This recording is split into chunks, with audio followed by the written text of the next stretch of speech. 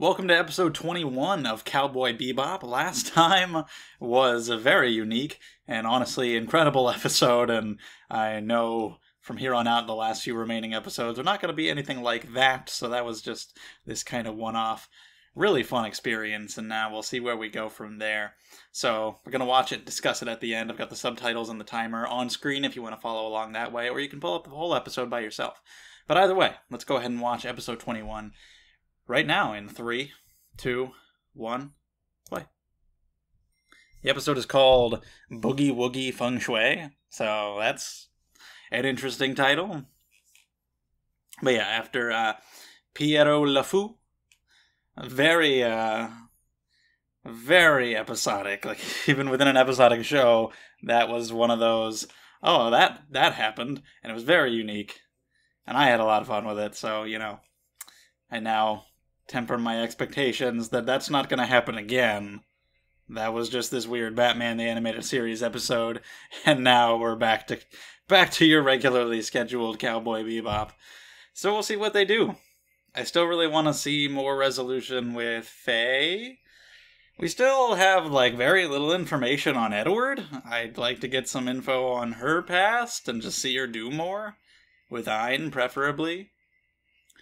And then, of course, there's resolving things with Vicious and Julia. So, I don't know how much time we have for just episodic random adventures. We're nearing the end. And also, while the OP is playing, let me say that if you enjoy these videos, subscribe to the channel because there's new, new episode of Cowboy Bebop every Friday, in addition to the other videos I upload every day. Also, check out the links in the description below. There's Twitter and Discord if you want to come talk, come hang out. And there's Patreon. Supporting me on Patreon helps the channel to stay afloat, and you get videos early. You get to vote on what shows I watch, and stuff like that. So, check all that stuff out. And now, it's time for episode 21 Boogie Woogie Feng Shui.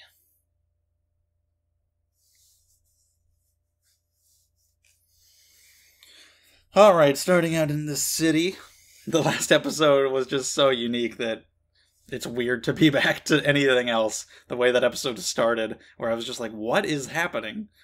But uh it's a unique setting. All right some jet focus. I'm chilling on the couch. The sacred beast from anzan. All right what is that about Okay, well, see what Jet's up to then. Pippu Cola.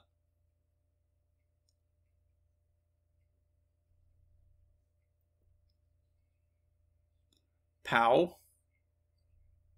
Just an old acquaintance.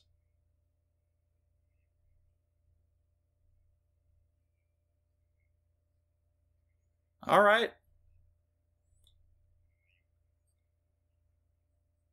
I like how this is narrated like a classic noir detective story. He's already deceased. I thought feng shui. Yeah, I mean, uh, apparently it's not from him, somebody using his name. Hello? Okay. Feng shui. Whoa, okay is like you know the art of like arranging the things in your house.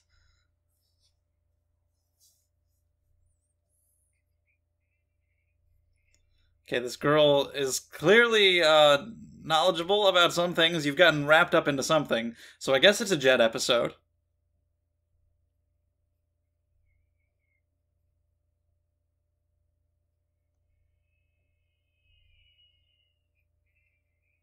Look at the, that guy running down the stairs like that. What was up with that? This girl looks like I don't know with the like the pigtails and the bandana. She could be like a like a Ghibli girl or some such type of thing, you know, like the heroine of a story like that.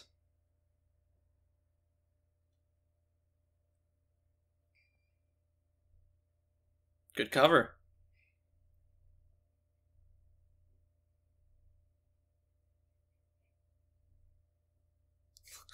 He, he has no idea what's going on.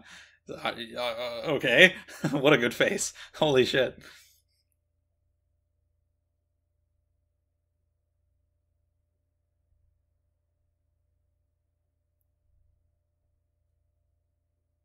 What are you looking at? Look at Ein propped up on Ed's head. Oh, he brought her home. He brought a girl over. She looks like 15. What just happened, Dad? okay, yeah, sure.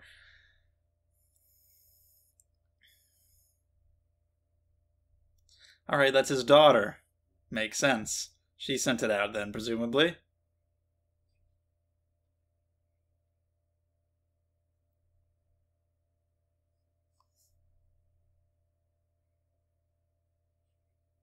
Yeah, that's all he said, just acquaintance. He didn't say any more than that.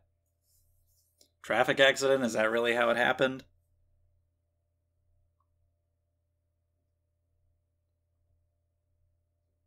Is that right? It sounds suspicious, considering there were people trying to kill you just now.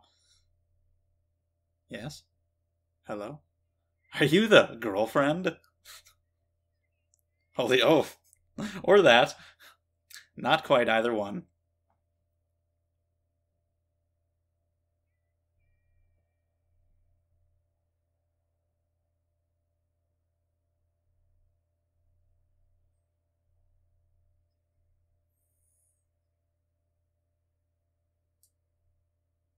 I guess she didn't send it then. Never mind. What is that?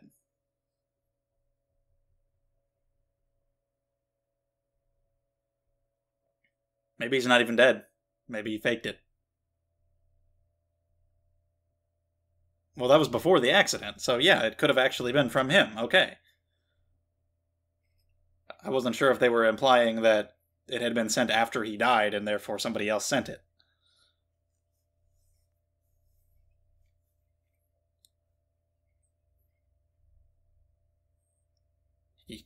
Sure.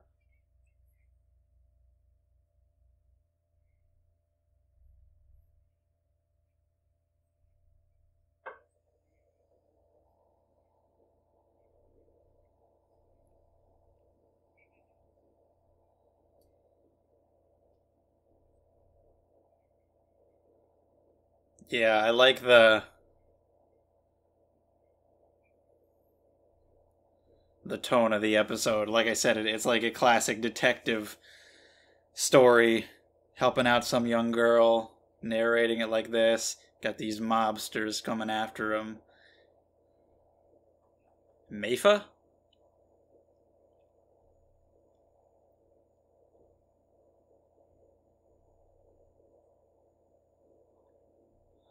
But visually they're not going for that at all. Like the how you would envision a story like that to look not like dark we're actually in a very bright environment.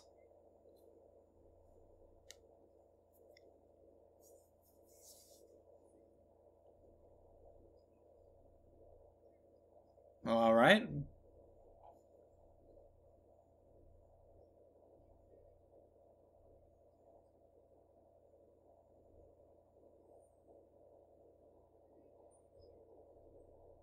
Well then, if you say so.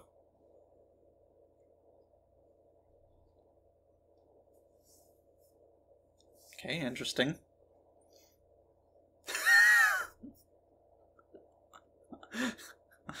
Pretty fantastic response.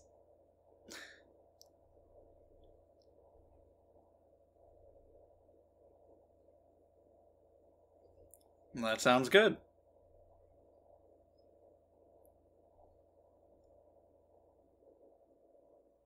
Yes. What could he do? Really? They were not that close? Ah, uh, no, no, no, no, no, no, no, no, no, no. That's weird. Don't say that. Don't say that. That's a bad thing to say. Yeah. I don't know. I just say ice cream again. Still, uh, I mean, yeah, possible, but it'd be weird. Hey, good shit. Your ice cream is melting, so. Just lick it up, man. Brain freeze. That's a fun little relationship between these two. Alright, we found the place he's supposed to go.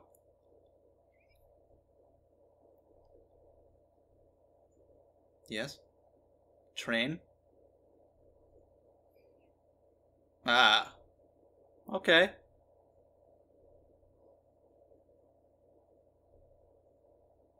This is interesting. Like, this big city combined with this, like, detective noir story on a bright city of Mars combined with this feng this feng shui stuff. It's like a really interesting combination of a lot of different things.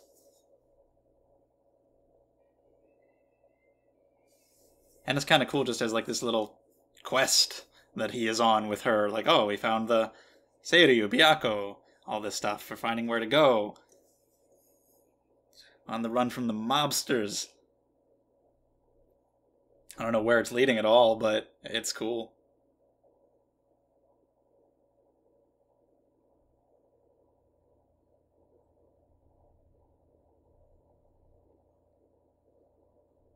Something in the mouth. Something heavy. Or just lodged in there really good. Uh, is it now? Will that thing evolve?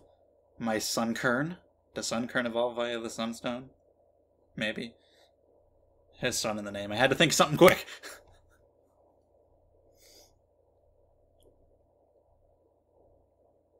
My gloom.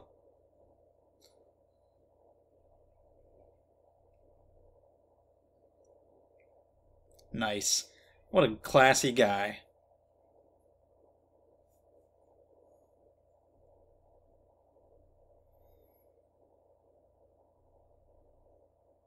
You got the mobsters. One is a skinnier guy, one's a bigger guy. Well, shit, he was prepared. That's why he didn't need a glass. You get him, Meifa. Kick his ass.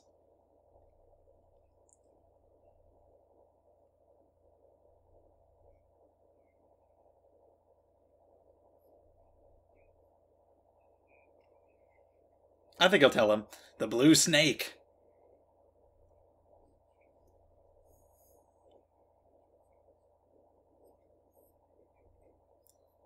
You sure?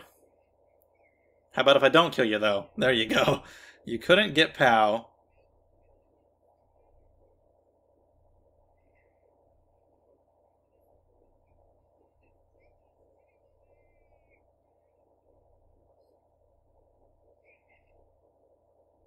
So they were after him because he had got the message from Pao. And that those little kids came over.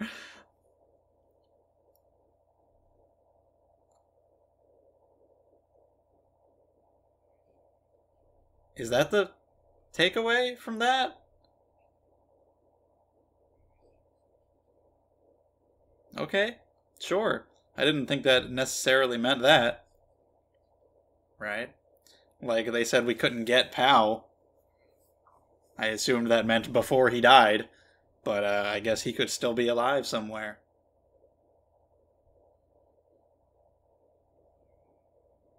Which I did theorize earlier anyway.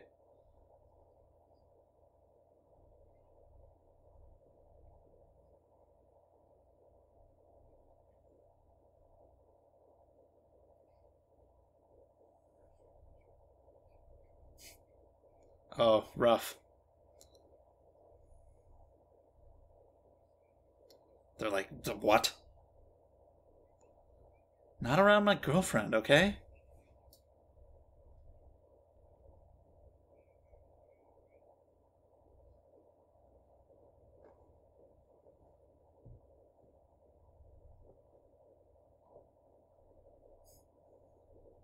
Had to go outside. Having fun, Ed?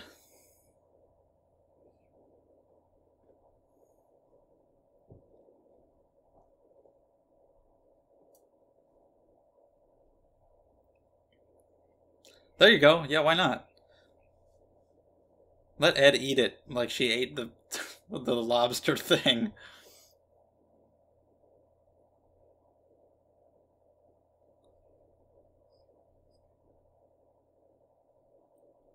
Well, good job, guys. You, I don't know what it means, but you did it. Fill us in. What's going on? What? Thank you, Ein. I agree. Huh? Use your words, woman.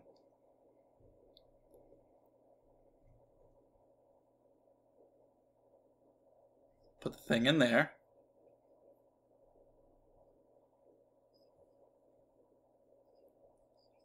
Alright, you think it's leading to your father. But the fact that you think that makes me think that you're gonna find something different there. That he actually will be dead.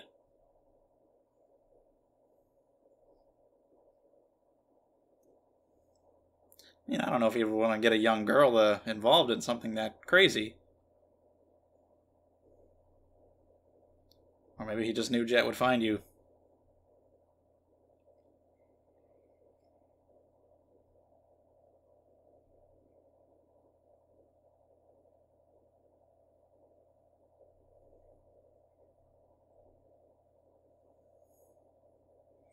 Is that right? Alright. Maybe as like a protective father figure.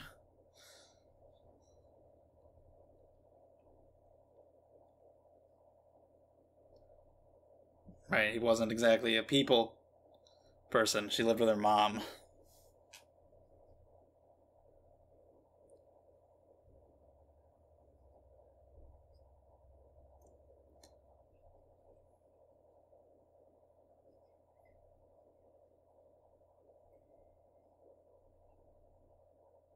I don't know. We don't know the history between him and Jet. Maybe he had to stay away from her for a better reason.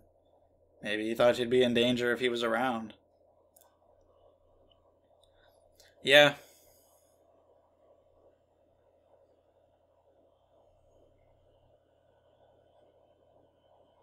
There she is.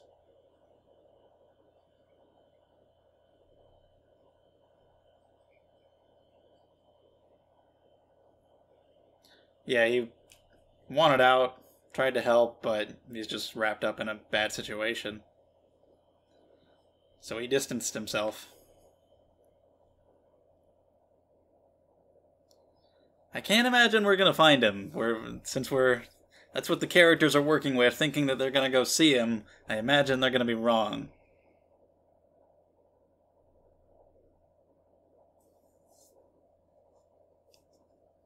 What are you doing? Just doing Edward stuff.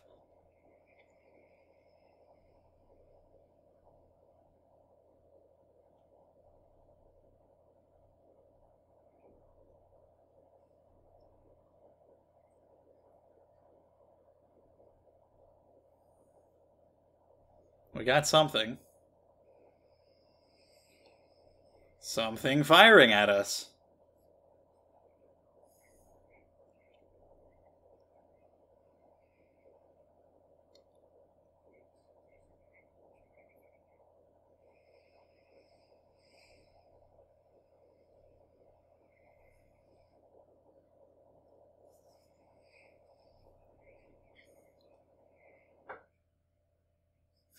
Sure, if you want to put it that way. Hello. All right, we got some uh, enemy combatants, some drones. Hey, good shit. How lucky for you that you just brought up some fairy tale analogy, and uh, now you get the seven dwarves.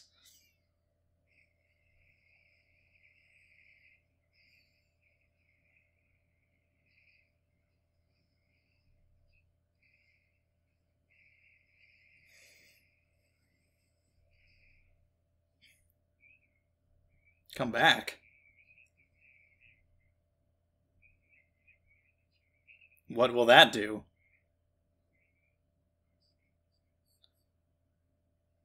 Give you like a huge boost? Get you out of there?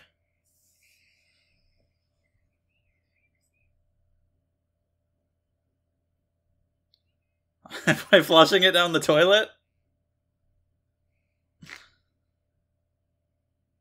All right, here it goes. It's gonna blow the shit out of him.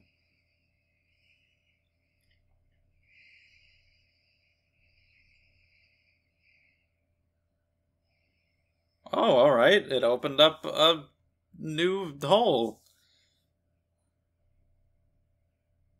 It looks like it's shrinking. Maybe it was just the angle. Looked like that for some reason. You gonna be okay? Those things are all getting destroyed. Are you, uh... Are you good? Next to this fucking black hole?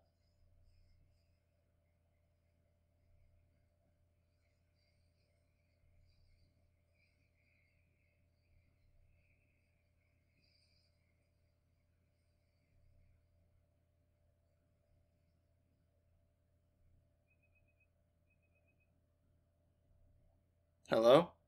Well, what do you know? All right. I'm thinking, like, is that her father's ship in there? But I, I, I didn't think he'd be alive, honestly. But sure enough.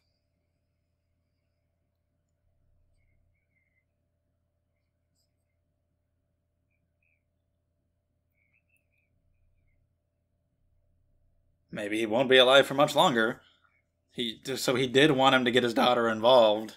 He wanted to be able to talk to his daughter.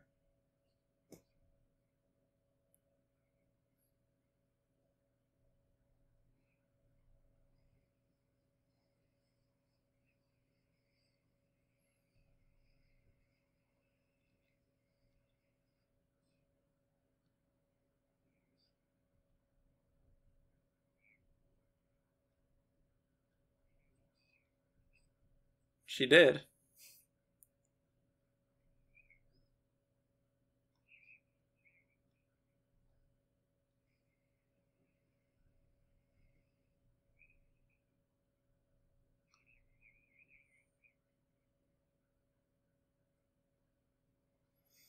I didn't think it'd play out like this. I thought we would find something unexpected here, but we just actually found him, and she just gets to have like a heart to heart resolution with her dad.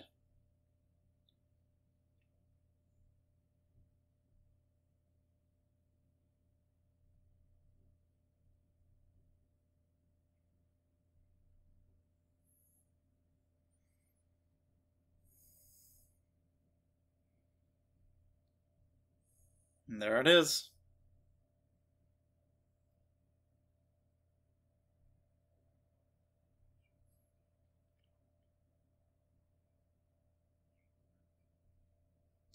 It was a good thing. She got to say goodbye. Oh, alright, so. It's back to the old ways.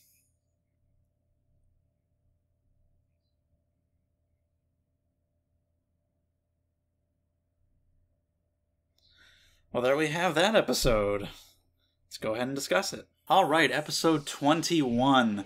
From a little bit of reactions that I've seen from other people after the fact, I've seen a lot of people saying this is one of their least favorite episodes of Bebop, and for the reasons that they stated, I, I understand where they're coming from. I didn't really mind it, honestly. I found it mostly entertaining. It's not one of my favorites, but I thought it was good. I, I was kept engaged the entire time.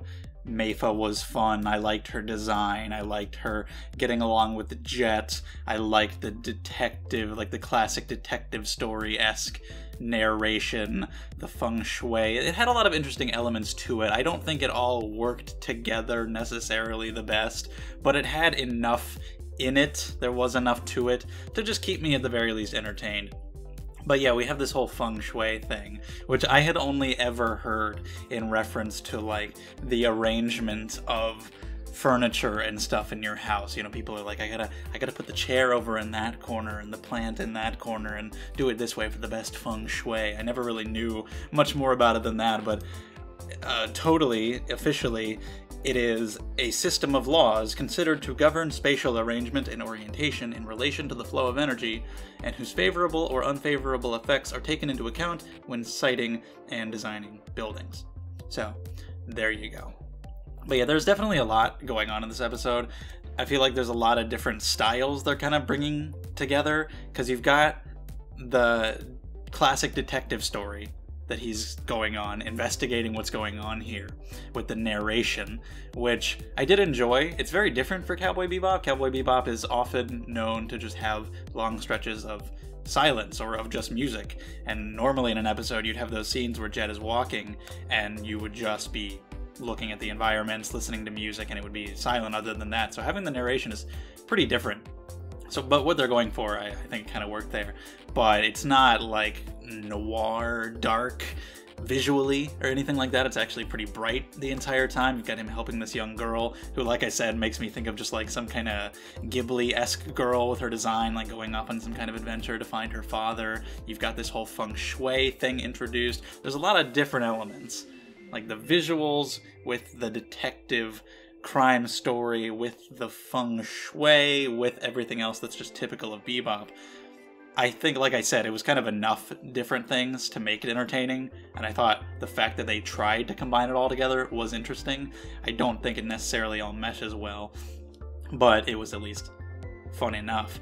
But there is a lot in this episode, even just surrounding the characters of Meifa and her father. Like, we find out in this episode that this man existed in the first place, that he died, that he has a daughter, getting to know her, and that Jet knew her finding out that he's alive and getting her to have a final farewell with him all within this one episode, in addition to just the introduction of Feng Shui as even a thing. So there's a lot. It doesn't really fully have time to develop as best as it could have had there been more time. You know, have we had a an episode to learn about this guy, meet Meifa, then more time to go on this little quest, and then have a resolution.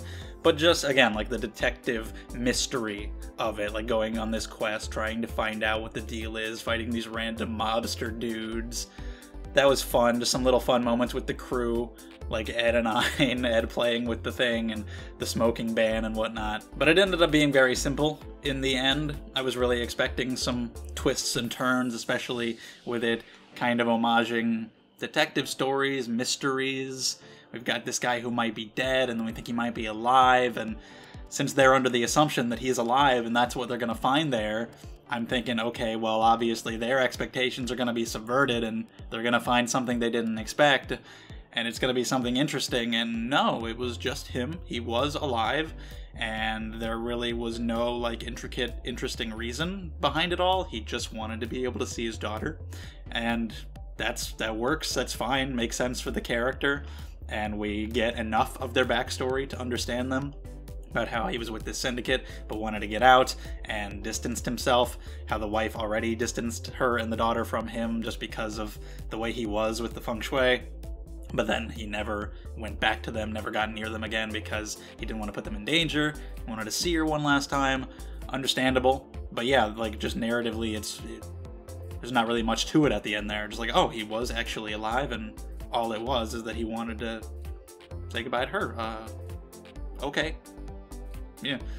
Not like super emotionally invested because there just wasn't enough time, but it, it, works as a fine enough episode. And the feng shui also, like, it's kind of a big thing to to introduce in this episode along with everything else that's going on in it just because it's it's really vague and I dare say entirely pointless. Like, I don't entirely really know what they were going for by introducing that here.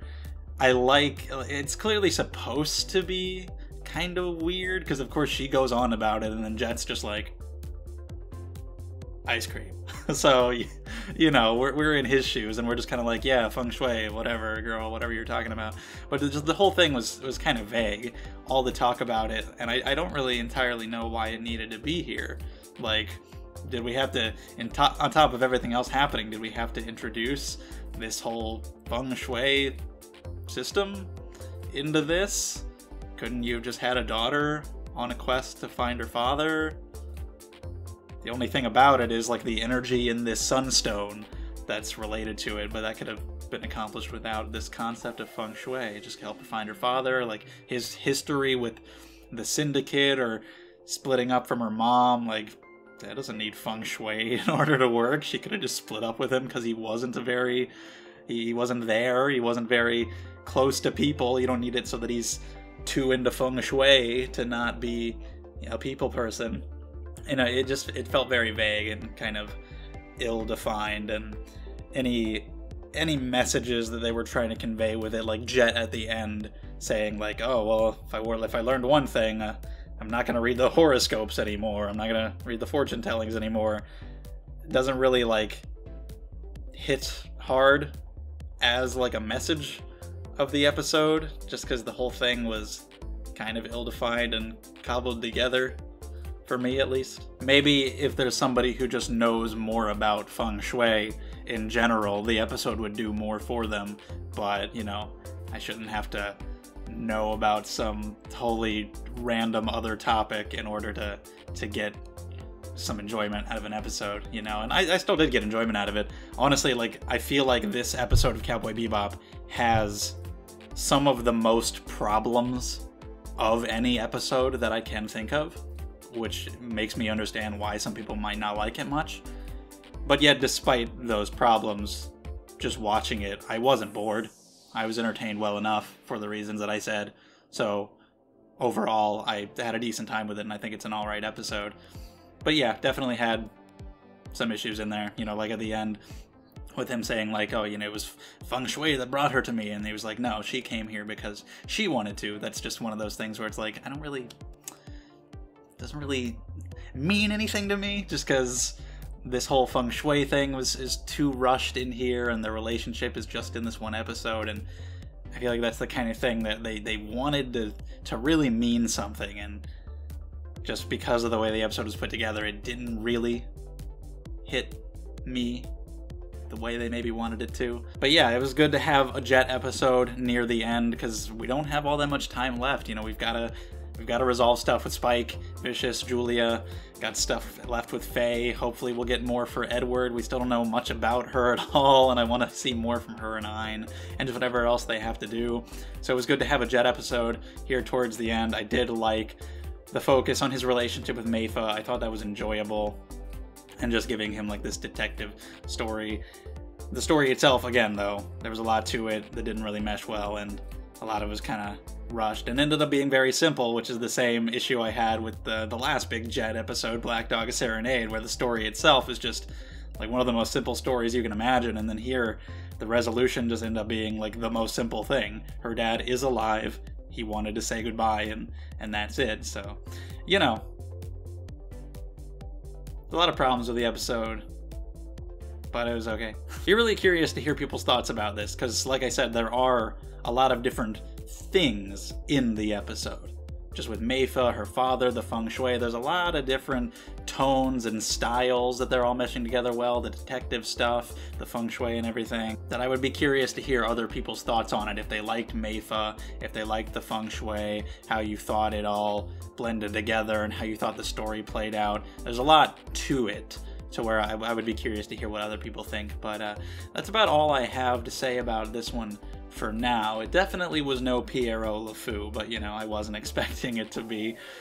So I, for a follow up to that, especially, you know, after having so much fun with that episode, I easily could have been like severely let down by what followed, but I honestly wasn't, so that's a good thing.